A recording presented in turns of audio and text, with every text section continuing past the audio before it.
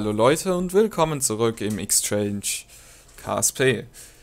Ja, ich bin jetzt hier ziemlich schnell hier reingegangen in dieses Save-File und habe keine Ahnung, was wir gemacht haben.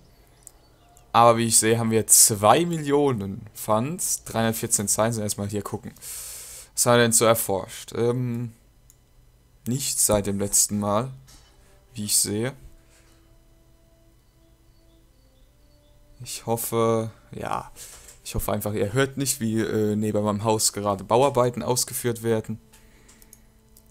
Spekulieren wir einfach mal drauf, dass ihr es nicht hört. Und hier haben wir jetzt neue Solarzellen. Erstmal gucken, was denn so passiert ist. Ist denn überhaupt unser Eve-Länder gelandet? Das mache ich jetzt so fragwürdig, sage ich das jetzt. Auf jeden Fall ist hier äh, Duna-Beschwörer jetzt im Handel.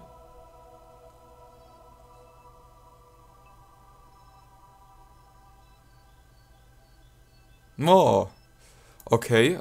Äh, wir haben einen Duna-Beschwörer und einen Ike-Länder, der schon auf Ike gelandet ist. Okay. Ich nehme jetzt übrigens wieder mit OBS auf. Das hat mir ziemlich gut gefallen, das letzte Mal bei meiner Season 2 Folge. Und... Uh, Duna sieht echt geil aus so auch. Uh, Duna sieht geil aus, okay. Ähm, gucken wir uns den mal an, den Ike-Länder. Ich rate einfach mal, es war von Laguna. Mal gucken, ob, die, ob ich richtig geraten habe, denn beim anderen steht ja irgendwas komisches noch drin. Oh nein, äh, dieses Triebwerk, okay. Damit kommen wir aber nicht wieder zurück, das ist ihm schon klar. Ah, die... Ist es normal? Ja, oder? Dieser Fuel-Tank hier ist ziemlich zerkratzt. Ähm, wir hatten Atomtriebwerke, aber die hat er womöglich nicht benutzt, wie ich hier jetzt gerade sehe. Aber auch egal. Und auch sonst ist ja relativ wenig dran eigentlich. Ähm, ja, den werde ich jetzt natürlich nicht versuchen zurückzufliegen. Das wäre lebensmüde, denn wir schaffen das nie im Leben.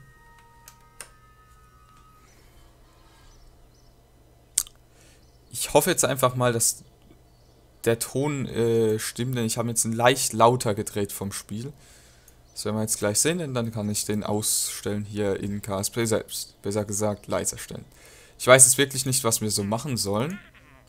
Also den Duna-Ding will ich jetzt mal nicht weiterfliegen, denn wenn Laguna da jetzt weitergeflogen ist, dann müsste Duna in einer ziemlich schlechten Position gerade stehen. Äh, wer hätte es gedacht, Duna steht da. Der Eveländer ist gelandet. Bei Live to Play, genau. Ähm, ja, ich, ich baue den Eve-Länder und er äh, setzt seinen Namen dahinter. Tja, dann hat trotzdem jeder was hier. Was sind das? Äh, Location Agency, was muss man denn da machen? Jetzt mal gucken. Wir haben noch keine Jet-Triebwerke. Die 314 Science können wir aber für... Oh Gott, lag. Warum lagt's hier? Jetzt geht's wieder. Keine Ahnung. Äh, die 300 Science, die können wir ja für irgendwas hier ausgeben. Ich persönlich wäre ja natürlich für die Jet-Triebwerke. Denn ähm, damit kann man sehr gut Science farmen. Und wir brauchen sowieso, ja, Landebeine mal gucken, ist unnötig. Ähm, haben wir hier schon, hier haben wir schon ein paar Flügel. Hier hätten wir noch ein paar mehr Flügel.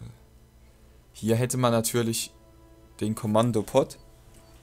Ich höre gerade, meine Grafikkarte läuft wieder amok. Ähm, habe ich überhaupt die Lüftung an? Ja, ziemlich gut. Ich habe keine Ahnung, was ich jetzt hier machen soll bauen wir einfach mal Part 1 unserer Metten. Metten. Was ist denn das für ein Wort, bitte?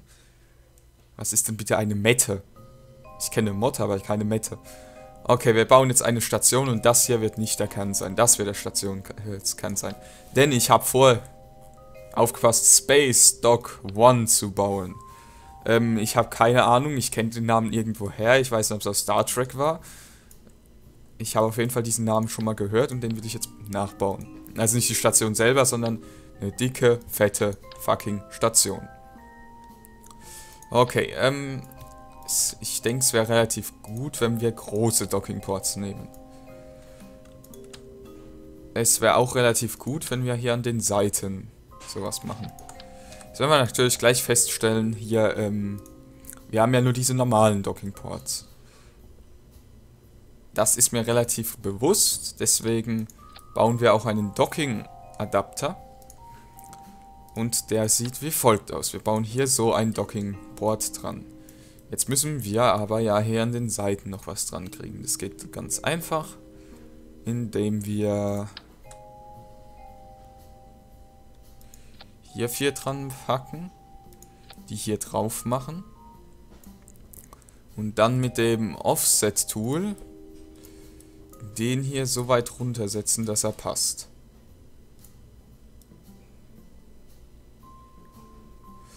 Jetzt will ich eigentlich die DPI von meiner Maus runterstellen. Aber...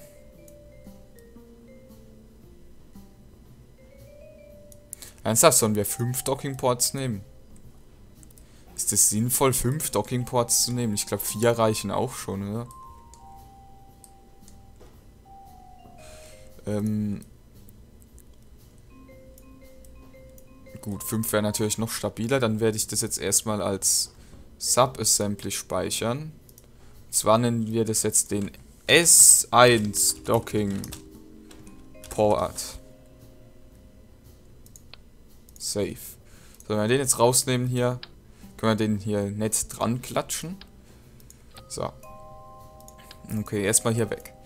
Denn was brauchen wir noch hier dran? Wir bräuchten Batterien. Warum mal denn hier Batterien? Hier. Wäre gut, glaube ich, wenn wir die Batterien hier dran setzen. Fallschirme braucht eine Space Station nicht, aber nette Lichter. Und zwar würde ich hier gerne... Ja. So, die Lichter ausrichten und dann alle auf Rot oder machen wir mal hier Blau. Es zieht bestimmt sau viel Energie, aber egal. Wir bräuchten noch ein paar Solarzellen, aber wirklich bloß ein paar. Und zwar hier vielleicht so viel. Und dann bräuchten wir noch eine Stage, die das, die das Ding hochschießt. Das ist aber natürlich ein bisschen ein kleines Problem, denn wir brauchen Dockingports. Hier unten bräuchten wir auch einen Dockingport. Das ist jetzt ein kleines Problem. Denn ich kann ja jetzt nicht, obwohl, ich kann nicht, ich kann es doch machen. Ich tue es einfach, so.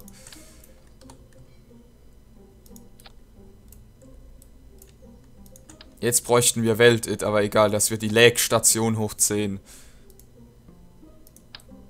Das Ding muss stabil bleiben, das sage ich euch. Denn an diese Station sollen später auch mal Fuel-Tanks dran. Warum eigentlich erst später? Wir können doch jetzt schon Fuel-Tanks dran machen.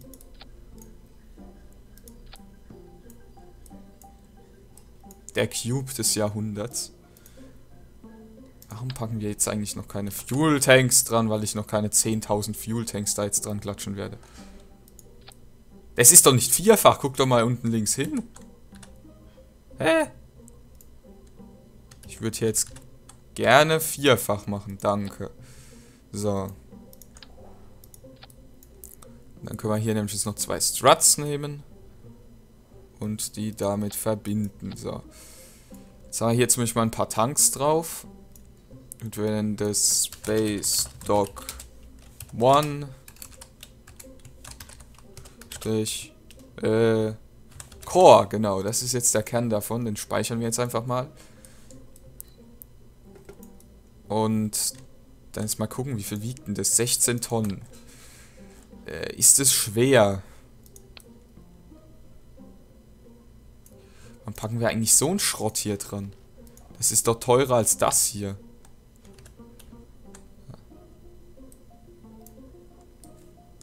Ich will dran zoomen. Das ist gut. Jetzt hängt es da oben drin. Jetzt hängt es hier unten drin. So. Haben wir es doch geschafft. So, und dann mal gucken. Jetzt brauchen wir irgendwas, was 16 Tonnen hochschießt. Das habe ich jetzt mal gespeichert. Ich würde mal gern wissen, was meine, mein Eve-Beschwörer, wie viel Gewicht er gehabt hat. Denn Zumindest mal der obere Teil davon. Das bedeutet bis hierhin. 9 Tonnen. Das Ding hatte nur 9,9 Tonnen. Okay, dann wird das ja die erste Trägerrakete, die offizielle, weil... Ah, nicht ganz. Okay. Wir packen jetzt mal mit an und zwar... So ein Decoupler hier noch dran. So ein Tank. Ne, nicht so ein Tank. So ein Tank und diese kleine Engine.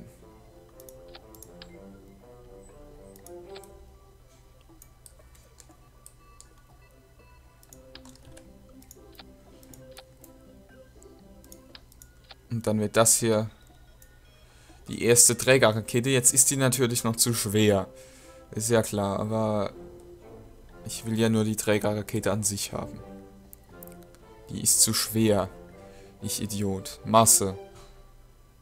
Egal, dann packen wir halt das untere Teil da dran. Jetzt mal gucken, ob das geht. Ähm, so. Das hier ist jetzt unsere... Wie nennen wir die denn?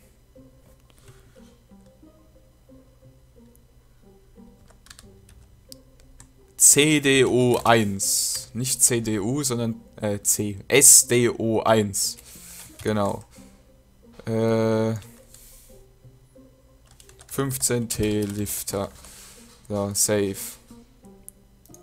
Ich habe immer so das Gefühl, wir brauchen, müssen da ein bisschen an Gewicht noch rausnehmen. Ja, wir können ja eigentlich die Tanks leer machen. Dann haben wir hier drin 8,6 Tonnen. Ist jetzt natürlich zu viel, aber egal. Äh, SDO1. So.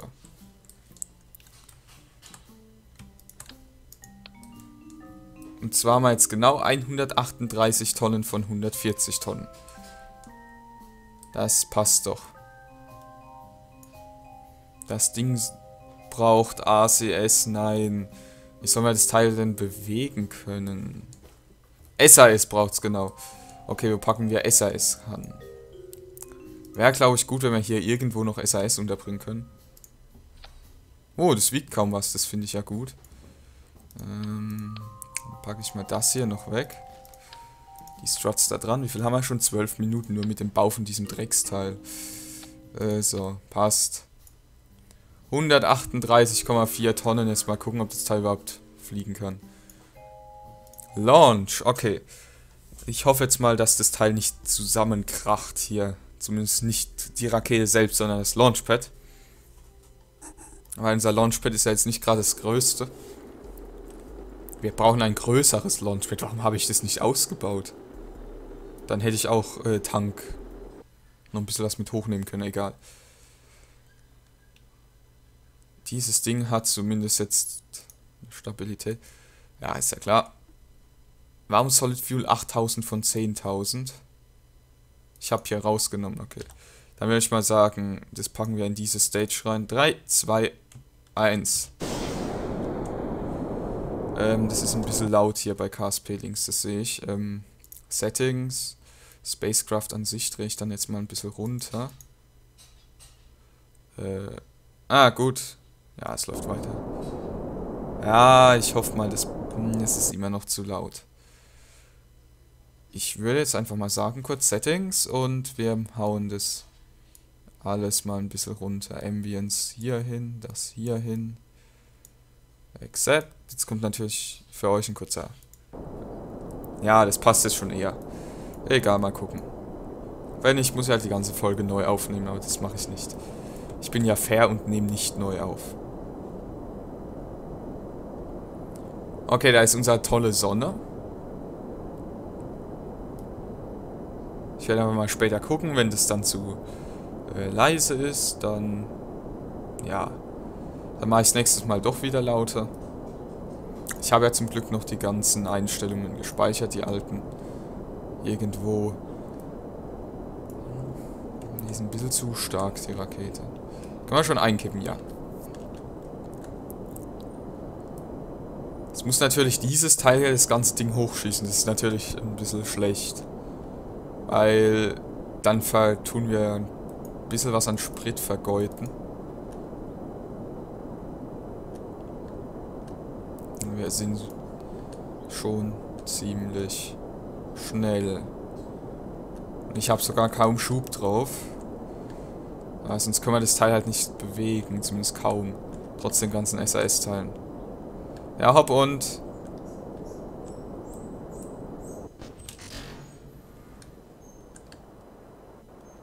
Okay, weiter geht die Reise. Da werden die Booster abgesprengt. Ich werde Stage Recovery installieren. Bald. Oh Gott, es wobbelt. Nein. Also wenn Stage Recovery installiert ist, dann können wir zumindest mal die ganzen Booster noch äh, recovern. Wäre, denke ich, nicht so schlecht. Da ist die Station auf irgendeinen Orbit bringen, so auf... Nicht auf meine standardmäßigen 300.000 Meter. Wie die letzte.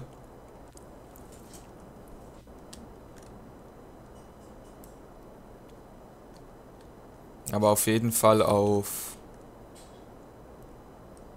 Ja, mindestens 300 würde ich jetzt sagen. Weil 500 ist schon ein bisschen hoch, oder?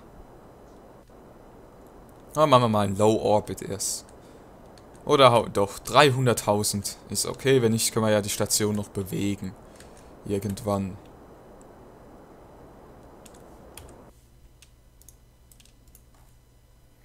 Das ist natürlich so ein Referenzwert. Das Teil hier beschleunigt schön.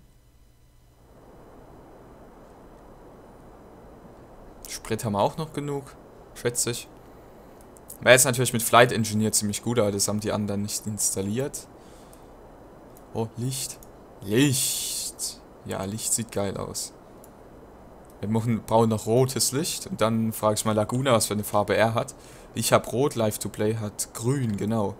Grün hatte er und Laguna hat dann irgendwas anderes. Keine Ahnung. Dann hat jeder so seinen Sektor, wo er andocken kann. Das wäre jetzt das Ziel. Wir packen das wieder auf. Ja, ja egal.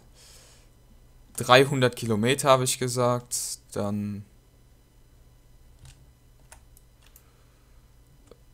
Oh Gott, wir sind noch viel zu viel in der Atmosphäre. Dann packen wir es mal so auf 310. Und dann spulen wir mal vor, denn wie ihr seht, sieht man sich sehr, sehr schnell.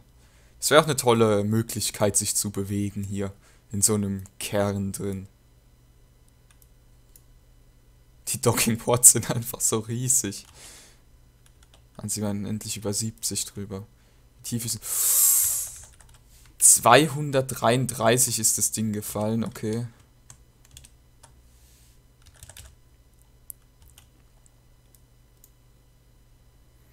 Ja, auf, ich will jetzt... Oh, jetzt habe ich den Ton ausgestellt oder was da. Ja, egal. Wir starten ja jetzt nicht mehr viel in dieser Folge. Ich weiß nicht, wie viel das hochgestanden war. Except. Resume. Ja, das passt. Nicht, dass ich dann wieder so ein Gamer-Teil kriege für so eine Drecksmusik von KSP. Oh, also das Ding bewegt sich doch ziemlich gut dank den Reaction Wheels da drin und dem SAS.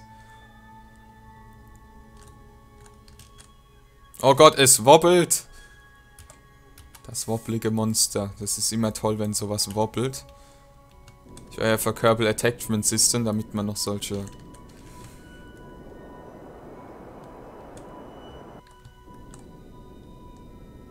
Bam! 318 zu 301 ist doch okay.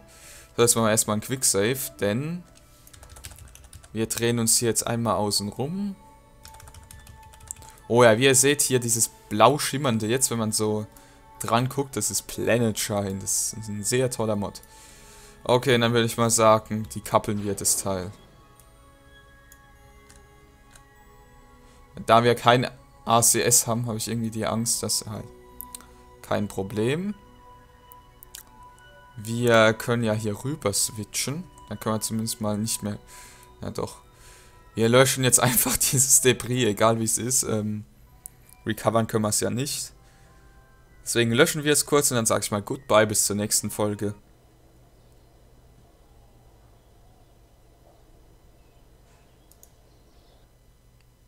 Wo ist mein Debris? Äh, Debris, so. Äh, ja, das war jetzt blöd. Space Dock One.